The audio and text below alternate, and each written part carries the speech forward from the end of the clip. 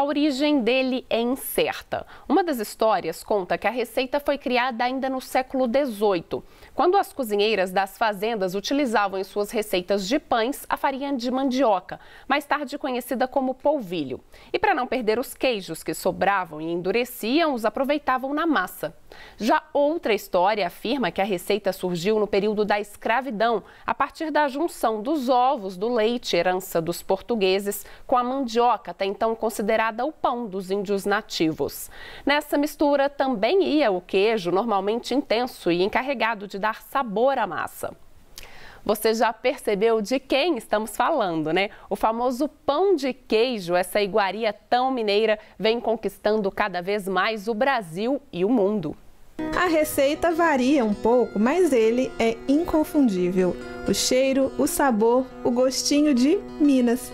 Nós, mineiros, estamos acostumados com a onipresença dele. E quando chega a visita, a gente não tem dúvidas de quem deve ser nosso anfitrião.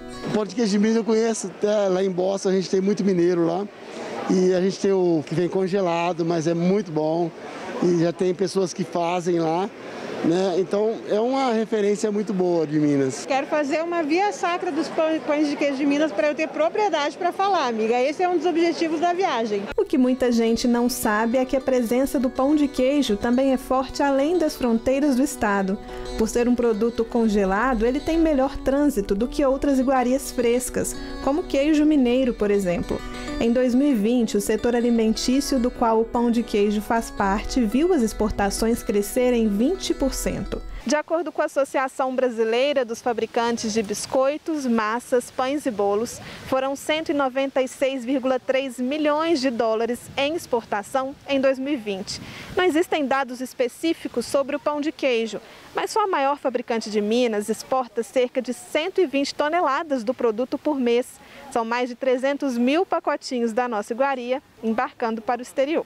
Nosso pão de queijo é exportado para Estados Unidos, Colômbia, Uruguai, Paraguai, Chile, Peru, Guatemala, El Salvador, Panamá, Costa Rica, Canadá, Portugal, Inglaterra, China, Japão, Emirados Árabes, Angola, entre outros países.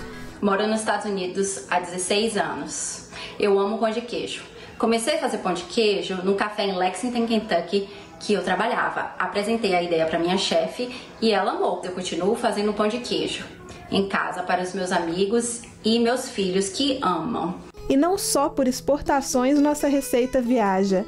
Elder mora em Nova York há 27 anos. O mineiro começou a fazer pão de queijo para os amigos. O sucesso foi tanto que hoje ele tem uma marca, a Crazy Pão de Queijo. No meu caso, que sou mineiro, a gente tem o queijo de Minas, que a gente compra o queijo curado, aquela coisa toda, já o queijo canastra, o que seja lá, o que queijo. Daí. Só que eu tive que misturar queijos aqui para conseguir fazer o sabor do pão de queijo real. Os produtos brasileiros exportados também atendem o chamado mercado da saudade. Existe uma grande demanda de brasileiros no exterior que querem encontrar produtos das suas regiões de origem. Guilherme está em Toronto, no Canadá, mas dá um jeito de garantir o pão de queijo de cada dia. Eu sempre gostei muito de pão de queijo. Uma das primeiras coisas que eu vim procurar quando eu cheguei aqui foi o pão de queijo. E aqui tem vários mercados brasileiros, vários mercados portugueses também é, que vendem. Então não foi uma coisa muito difícil de encontrar, principalmente em Toronto, né, uma cidade uh, grande. Então sempre, toda semana eu compro um, um, um pacote de pão de queijo para trazer aqui para casa. E inclusive a minha namorada é portuguesa e eu mostrei para ela já, né, o pão de queijo e ela gosta muito.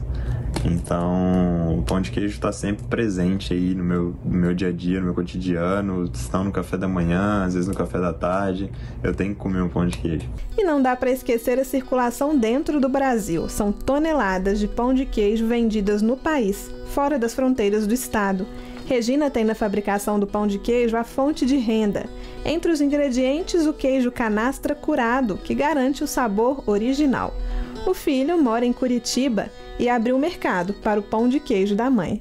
Ó, meu filho, uma vez que ele teve aqui em Belo Horizonte, ele levou a massa, sabe? Foi de avião, levou a massa E lá ele assou numa, numa reunião que eles tiveram lá. Ah, mas eles enlouqueceram com pão de queijo. Aí você, ah, quando sua mãe vier aqui, pede ela para trazer que a gente vai comprar. Aí aconteceu de eu ir para lá, ficar lá uma semana. Pode trazer tudo que você vai fazer, que você vai vender tudo. Falei, então tá, levei tudo. levei tudo e, e se tivesse mais, tinha feito mais, porque só não fiz mais porque eu não encontrei lá os ingredientes que tem aqui, né? Que é queijo. Então, é, eu fiz e vendi mesmo tudo. Neste sentido, o pão de queijo cumpre o que talvez seja seu papel mais importante nas missões fora de Minas, o de ser referência afetiva para os mineiros que estão longe de casa. O pão de queijo é uma comida que traz uma memória para a gente do local, né? Se a gente está fora do Brasil, ele vai trazer essa memória do país, vai trazer é, a lembrança de um momento de é, confraternização da família, né? De é, afetividade, de acolhimento também. Então isso é o que a gente busca muitas vezes, né? É no cheiro, no paladar, né, que a gente vai trazer, a gente vai recolher isso como uma forma de se aconchegar um pouquinho mais, de ter essa memória, né, desse afeto.